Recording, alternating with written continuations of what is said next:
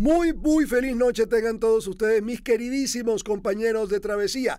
Gracias por estar con nosotros en Fraga en Éxito. Y yo, Carlos Fraga, les voy a dar la más cordial bienvenida porque hoy lo que les tengo es lo mito. Tengo un temazo, pero un temazo humano, superhumano, del cual espero aprender yo, aprender ustedes y que todos podamos sacarle provecho.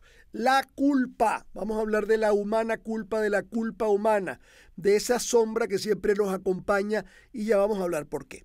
Así que la culpa humana, vamos a hablarlo a calzón quitado porque creo que es un excelente tema. Bien, entremos en materia entonces. Amigos, la culpa. La culpa es un tema que tiene mucho que ver con todos nosotros, independientemente que sea muy religioso, poco religioso. ¿Por qué? Porque nosotros venimos de una cultura judeocristiana maravillosa, con todos las cosas, los aportes que ha podido hacer, pero también vienen con unas estructuras que tiene que está muy ligado al castigo, que está muy ligado a lo bueno y lo malo, que está muy ligado a la inocencia, inocencia frente a culpabilidad. Esas son, esos son la inocencia y la culpabilidad son de alguna manera los dos polos en los cuales nos metemos. Por lo tanto, nosotros estamos muy ligados a entender, concebir a un Dios generoso, creador, maravilloso, pero también juzgador, castigador, duro. Entonces, eso nos pone permanentemente en, en una conciencia de lo malo, lo bueno y cuán culpable soy yo de lo malo, ¿ok? Y cuán inocente o cuán ignorante soy de lo bueno. Y eso ha sido lo que ha marcado nuestra vida y lo que marca mucho en mucho nuestro mundo conductual y nuestro mundo emocional. Porque es el sentirme culpable, es esto, es el otro. Ok. ¿Es mala la culpa? No, no. La culpa, la culpa per se no es mala. Gracias a la culpa, la culpa es un freno. La culpa es un freno.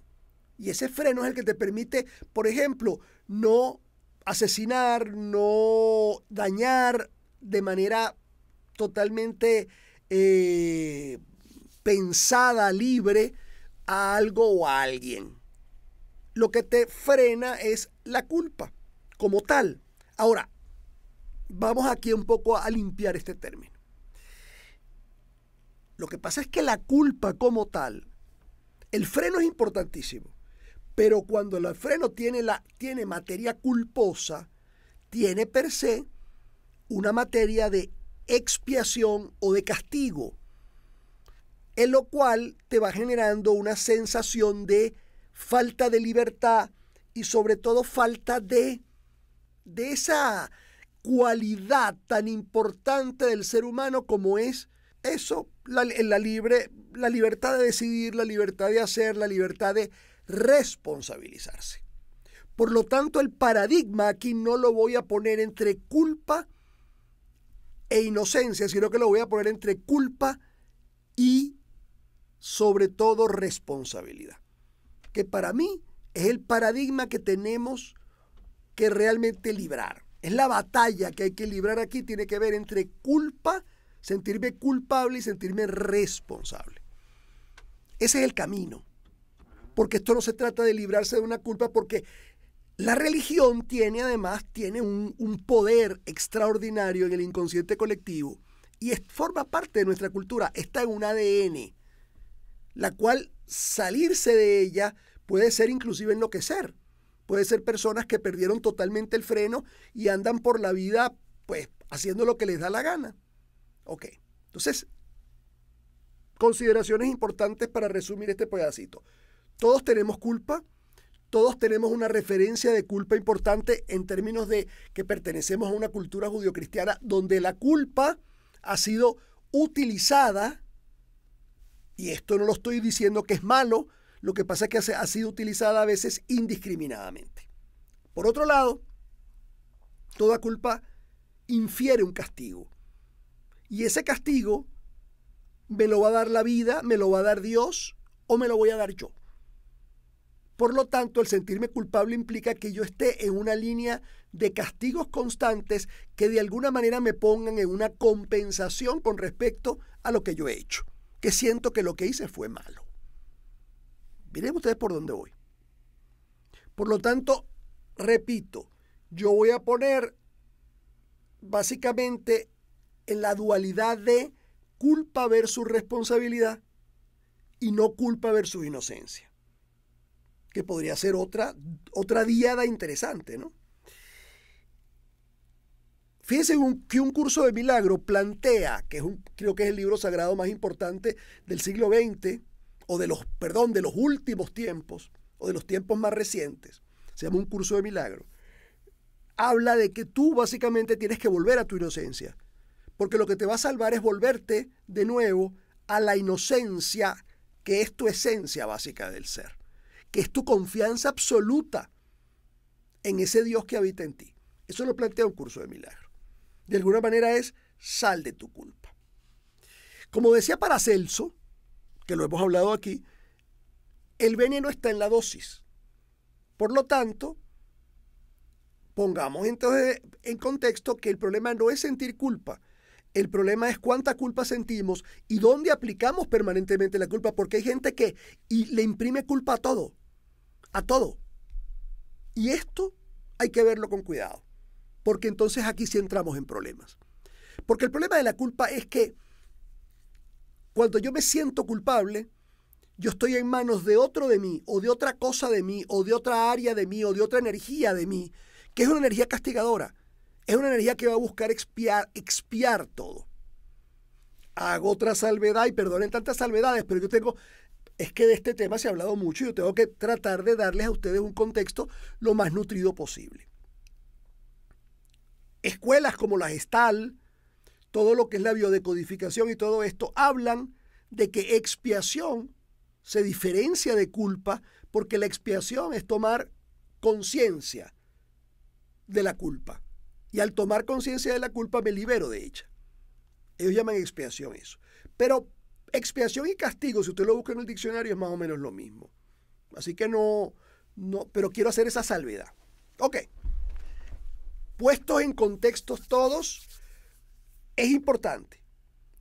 Los hechos, sobre todo los hechos que toquen nuestra parte sanamente egoísta, nuestra parte sanamente libre, nuestra parte sanamente adulta, pueden rozar la parte culposa.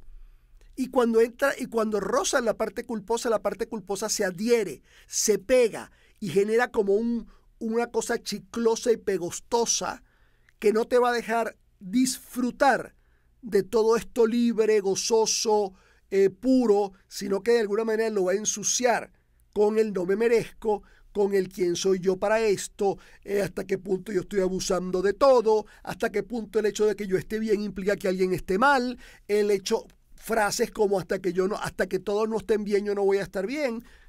Son frases muy duras. Espérate, espérate un minuto. Y la responsabilidad que cada quien tiene en su vida. Y la responsabilidad que suena muy linda, es una frase, hay una frase que conmueve, qué bello ese ser que dijo eso. Es precioso, vamos a hacerle, vamos a hacer una estatua en la plaza de la esquina. Pero es que eso no funciona. Porque ahí usted se está llevando por delante una cantidad de cosas. Por lo tanto, hay un elemento importante a tomar en cuenta con la culpa que tiene que ver con la soberbia que implica la culpa. Y la soberbia, sí, en la soberbia, cuando tú estás en la soberbia, tú estás en el peor de los sitios, en el más oscuro de los sitios. Entonces, cuidado, porque la culpa, cuando yo me siento culpable de que tú no seas feliz, óyeme bien, cuando yo me siento culpable de que tú no seas feliz o no seas libre o no te realices, yo estoy asumiendo sobre tu vida un poder que es mentira primero, que es totalmente irreal y que además me hace, me hace daño a mí, te hace daño a ti, le hace daño a todos. Yo no soy, yo no tengo el poder de tu felicidad. No, no, no, no, no, el poder de tu felicidad lo tienes tú. Yo puedo acompañarte, yo puedo eh, abrigarte, yo puedo estimularte, yo puedo o puedo negarte también. Cualquiera de estas cosas, pero el poder de tu felicidad lo tienes tú. Vamos a la pausa y usted lo piensa. Ya venimos. Continuamos, mis queridos amigos. Usted está en Fraga en Éxitos y yo estoy feliz de poderlos atender el día de hoy con un temazo como este, la humana culpa. Entonces, fíjense, ya que entramos en la materia, ¿no? La culpa es una forma de soberbia importante, donde yo siento que yo tengo una participación tan fundamental en todo lo que le está pasando al otro, o que el otro tiene una participación en las cosas que me están pasando a mí, que definitivamente yo siento culpa. Y esa culpa me hace a mí un ser profundamente soberbio. Primero porque estoy montado sobre una cosa que es irreal. Y segundo lugar porque además creo que yo tengo la influencia y la posibilidad de hacer feliz a un ser o de no hacer feliz a un ser. Y eso no es así. Yo puedo ser un elemento de felicidad en tu vida. Y muy importante. Yo puedo ser un factor yo puedo ser un liberador de cosas en tu vida. Yo puedo ser un serenador porque te sereno cuando hablas conmigo y eso te ayuda a pensar distinto. Pero yo no soy, es decir, yo no tengo ese poder. Yo lo que hago es despertar en ti ese poder. Entonces lo primero que tenemos que saber es que no tenemos esos poderes. Ni siquiera con los niños, ojo. Sí, yo puedo influir en mucho que mi hijo sea más feliz, más apto, más libre. Sí, porque evidentemente el niño depende mucho de, de lo que vea de lo que siente, de lo que escuche y de lo que yo influencie, sin duda alguna. Pero de allí a que yo sea culpable de que mi hijo mi hija no tomen el camino de la felicidad, no, no, no, no va. Porque hay montones de caminos alternos, montones de caminos alternos, ¿verdad? desde la terapia para la decisión definitiva, para la referencia del mundo, para todo, que me hace a mí tomar un nuevo camino.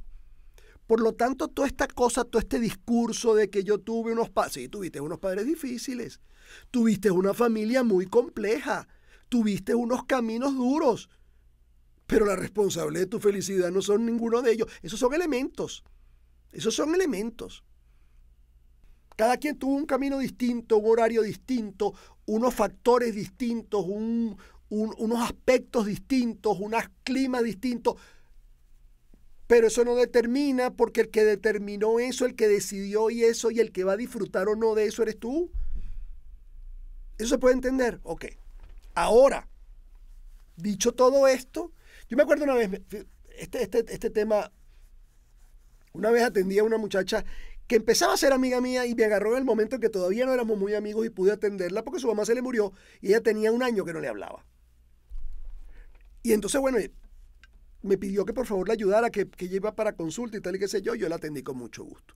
Y esa, esa, esa, fue una interesante consulta porque es una mujer muy inteligente, pero una mujer de mucho carácter, además una mujer que, que trata de ser muy justa en la vida. Entonces, la, la primera cosa ella pues se pone a llorar de una y dice, es que yo siento que mi mamá, yo soy la hija única y yo siento que mi mamá de alguna manera murió por mí. O sea, murió el disgusto que yo le hice o que yo le di, la llevó a morirse. La mamá estaba sana, estaba bien, y la mamá empezó, de alguna manera, tuvo una caída y a partir de esa caída empezó una serie de un proceso bastante difícil hacia la muerte. Y murió. Y murió. Ella la llaman y tal. Entonces la, primera pregunta que yo le hago es, ¿por qué te sientes una cosa que te sientas muy triste por la muerte de tu madre, eso nos va a pasar a todos. La segunda pregunta que te hago es, ¿por qué tienes una tristeza que sientes que te ahoga? ¿Por qué esa tristeza es tan fuerte? Bueno, entonces empezamos a escarbar y nos dimos cuenta que era un problema de culpa. Ella se sentía culpable de la muerte de la mamá. Y le digo, ¿Y no te parece que es una insolencia con la vida el poderte sentir culpable, el definir entre la vida y la muerte, como si tú fueras la asesina, como si tú fueras la condenada, la, la jueza, que eres la que decides cuando un ser que tú amas vive o muere? ¿A ti no te parece que eso es una cosa absolutamente este, injusta para contigo y totalmente soberbia para el mundo. Entonces empezó a entender, fueron varias sesiones, y empezó a entender hey, aquí había también un, un, núcleo de responsabilidad que no se puede parar. Entonces, una de las cosas fundamentales es que no juegues nunca el orgullo, sobre todo con los seres que te interese. No, no generes estas cosas de un año, dos años. No le hablo más nunca en la vida, cuando en verdad ese ser es importante para ti.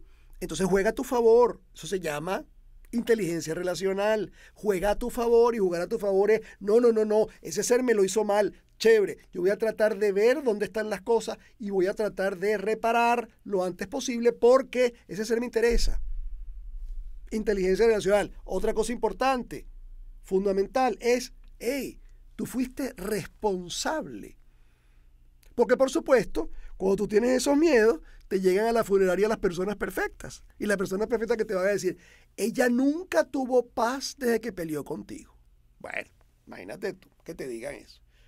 Ella no, no, no, ella para ella, a ella se le acabó la vida. Yo creo que ella murió cuando se, se, peleó contigo porque nunca más. Y cuando empezamos a analizar a la señora, porque yo le dije, mira, me interesa saber también cómo, era cómo es tu concepción de tu mamá. Bueno, la señora era, la señora se las traía. Una mujer de muy mal carácter, una mujer muy amargada, una mujer que además veía todo su fracaso, todo su fracaso como mujer en ella y lo proyectaba. Es decir, ahí había una cantidad de componentes, por lo tanto esto no era, eh, aquí no se puede jugar de malos y de buenos, aquí hay que jugar de responsables y de irresponsables. ¿Ok? Cuando tú juegas de responsable, tú asumes, ¿ok? Tú aceptas y tú reparas. Asumes, aceptas y reparas. Con la culpabilidad no hay posibilidad de hacer nada de eso. La culpabilidad es un cuarto oscuro sin ventana. En la culpabilidad te mueres. Por eso, de los siete sacramentos de la Iglesia Católica, yo rescato mucho lo que, al que nadie le gusta, que es la confesión. Qué bueno que tengas una ventana para arrodillarte y decirle a alguien que no te conoce, que ni le está viendo la cara, que ni sabe quién eres, mire, amigo, acabo de hacer esta locura, hice esto y esto y esto y esto, y que la persona además te absuelva en el nombre de Dios y te dé una penitencia. Bueno, visto así, es una gloria la confesión. Porque de alguna manera lo que yo estoy haciendo con esta muchacha es una confesión. Claro, buscándolo de lo terapéutico y no buscando liberarla, perdón, buscando liberándola, liberarla, pero desde otro aspecto, ¿no? Entonces asume que hay una responsabilidad aquí, que tienes que cuidar tu carácter, que tienes que cuidar mucho, mucho lo que tanto condenabas en ella, ahora actuado por ti, y que de alguna manera tienes que volver a una relación con ella ahora, ahora después de muerta. Que no es fácil, pero es importante hacerlo. Porque tampoco es que tuvieron toda la vida, tuvieron un año sin hablarse. Tampoco fue toda la vida. Entonces, porque si no, ¿qué pasa?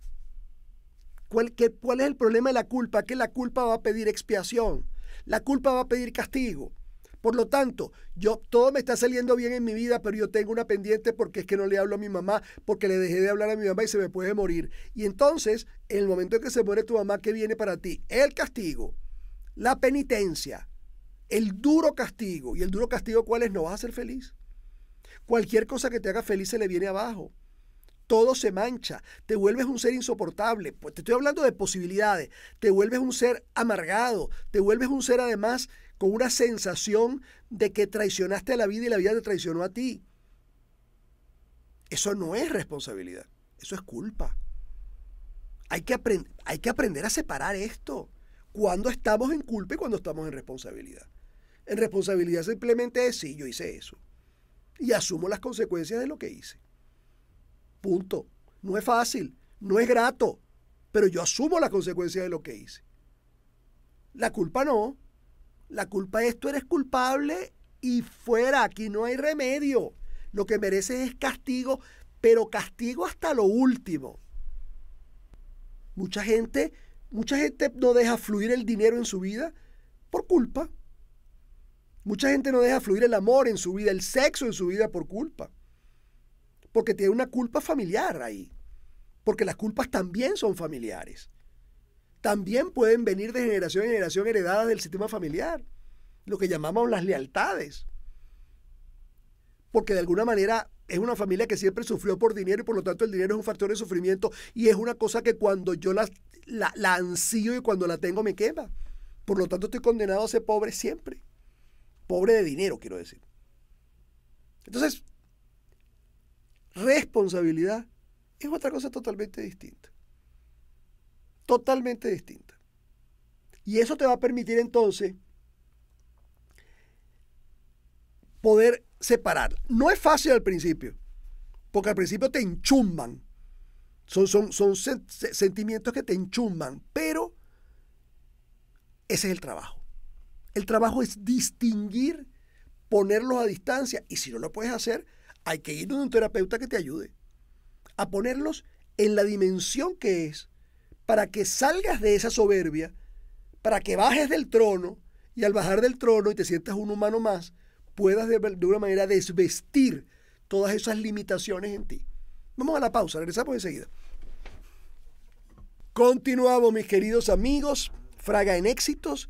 Hoy hablando de la humana culpa, la culpa humana. Importante tema. Tema central, tema vertebral de la vida. Porque vivimos en una cultura judío-cristiana, ya a veces, donde la culpa tiene un manejo muy importante. Los padres hacen sentir culpable a los hijos. Es una forma de coartarlos o de coartarles las conductas. Tú le vas a hacer eso a tu padre que te lo ha dado todo. ¿Qué estoy llamando allí al, ser? A la culpa. Tú, oye, pero tú no has pensado todo lo que te han dado, ¿sabes? Y empieza una cosa siempre de un cobro, de una cuestión, de un te debo, de un estoy en deuda contigo. Todo eso es culpa. Todo eso es culpa. Porque no nos amamos en igualdad. Entendiendo la igualdad como una igualdad emocional. Porque no nos amamos con esa igualdad completa que es. Entonces, hay que tener muy en cuenta que el problema de la culpa es que la culpa te persigue. Entonces, Aquí dice una persona, así es, muy lamentable, pero yo no voy a aceptar humillaciones de mi madre bajo ninguna circunstancia. Está bien, está bien, pero que eso no te haga sentir culpable. Eso te, eso tiene que hacer sentir responsable. Yo me responsabilizo por no estar enchumbada con mi mamá día, tarde y noche, porque mi mamá humilla mucho. Chévere, yo tomo la responsabilidad entonces y yo simplemente pongo distancia sana para evitar la situación estás responsabilizándote, estás reparando, estás asumiendo todo lo que de lo que se trata. Ahora, cuando tú haces eso porque tú eres la brava y la mandas para el carrizo y te le que yo, después que la mandas para el carrizo pasa cinco días llorando, entonces te voy a decir una cosa, tienes que ir a terapia, mi amor. Que es lo que yo he visto mucho. Yo no me voy a calar eso. Entonces van, van, arman un zaperoco, tiran cosas y tal. Y yo no vuelvo para esta casa porque en esta casa no se puede. Vámonos, muchachos. Y se llevan a los muchachos, dejan a la vieja y al viejo o al viejo ahí tirado, está bien, porque además ellos se lo buscaron y se van y tienen entonces un mes con un guayabo por lo que le dije, porque no es lo que dije. Entonces empiezan los hermanos a llamar, mira, y tú, es verdad que tú insultaste a mi mamá después de todo lo que mi mamá ha hecho por ti. Y te van llevando por un ventona que si tú no tienes una entereza, si tú no buscas ayuda, si tú no haces algo con eso, caes totalmente vencido ante eso. Carlos, ¿cómo identifico cuando es culpa, cuando hay castigo? Cuando siento que lo que he hecho de alguna manera va a inferir un necesario, importante castigo para mí. Importante. Entonces, ¿qué es lo primero que hay que hacer ante la culpa? Cuando yo agarro la culpa así, ¿qué es lo primero que hay que hacer? Identificarla. ¿Y qué es identificarla? Quedarme con ella un rato e ir viendo cómo se armó todo esto y darle el tiempo de ir desarmando las partes de esa culpa. Es como una bomba de tiempo. Hay que hacerlo con delicadeza y con precisión. Entonces, una vez que yo entiendo de qué se trata esto, una vez que yo entiendo de que esto es culpa, yo voy viendo cómo lo llevo a mi responsabilidad. ¿Qué me responsabilizo de esto? ¿Qué hice yo con la muchacha y no quiere decir que yo soy el que hago siempre lo bueno y no, no, no, no. Pero ¿qué, sé, cuál, qué trabajo hicimos con la muchacha? Bueno, ven acá. Primero que todo, bájate de, ese, bájate de ese pedestal porque ella no se murió por ti. Punto. Ella se murió por ella. Por ella y su destino, su vida, como tú lo quieras llamar. Por Dios, por lo que tú quieras. Segundo, tu mamá era, tu mamá, eh, Tú no, tú no te pusiste bravo con tu mamá porque tú eres, porque tú eres una loca. Tú no eres ninguna loca. Tú te pusiste brava con tu mamá porque hubo una razón. Porque la señora era realmente grosera, realmente tenía, estaba llena de ira. Y la señora de verdad, pero, pero bueno, era como un tizón esa lengua. Y bueno, se llevó por delante una cantidad de cosas las cuales tú no soportaste y sencillamente te mantuviste un año porque eso fue lo que te duró. Lo que te duró tu rabia fue un año o te hubiera podido durar un poco más, pero se murió la señora. ¿Ok? A partir de eso, entonces entendamos ahora que ver la responsabilidad. ¿Qué responsabilidad nos queda? Bueno, de alguna manera volver a hacer las paces con tu madre ahora que no está en vida, volver a agradecer todo lo que te dio, volver a ponerte en una sintonía con ella, ¿ok? Perdonarte a ti, a ti, importante perdonarte a ti, porque el gran, todos los perdones van a terminar en ti, ¿ok? Ya lo, ya lo hemos visto perdonarte a ti por haber pensado que tú eras culpable de todo eso. Tú no eras culpable de nada. Tú eres parte de este, de este escenario donde todos estamos muy tristes por la muerte de ella. Y a partir de eso empezar a reparar lo reparable, ¿ok? Y a perdonar lo no reparable, lo no, lo no aparentemente reparable. Punto. Claro, no es fácil. No nada de lo que yo digo aquí es fácil, pero hay que trabajar. ¿En dónde cabe el agradecimiento en la culpa? Pero para llegar al agradecimiento hay un puente. Para, la culpa sale desde el... Quien de verdad la puede allanar es el perdón. Primero, darse cuenta. Dos, empezar un trabajo de perdón para llegar al agradecimiento. El agradecimiento va por allá. Porque son procesos. Estos son procesos, procesos, procesos. Yo le puedo agradecer a mi mamá o a tu mamá o a tu tía o a cualquier cosa, todo. Muchas cosas. Pero si lo último que me hizo fue terrible, esa es la memoria emocional que manda.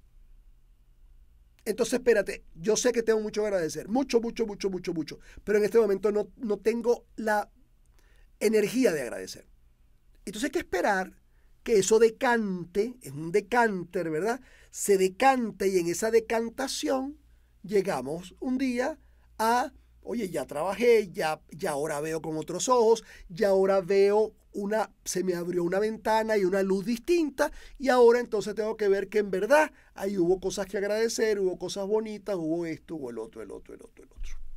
¿Ok? Carlos, ¿cómo podemos superar la culpa? Ya, te lo acabo de decir. ¿Cómo dejo mi culpa para dejar fluir el dinero? Me siento culpable cuando compro. Claro, no, mi amor, es que la gente que tiene problemas de dinero ligado a la culpa, que es la mayoría, se sienten culpables cuando compran. Se sienten culpables cuando no compran. Se sienten culpables cuando les regalan. Se sienten culpables cuando inclusive sueñan con las cosas. ¿Ok? Te lo voy a poner más apretado para que lo veas. Así que cuidado con eso. Hazle un perdón al dinero. Yo, yo, fulanito, perdono el dinero completamente amorosamente. Y ahí te van a salir cosas importantes.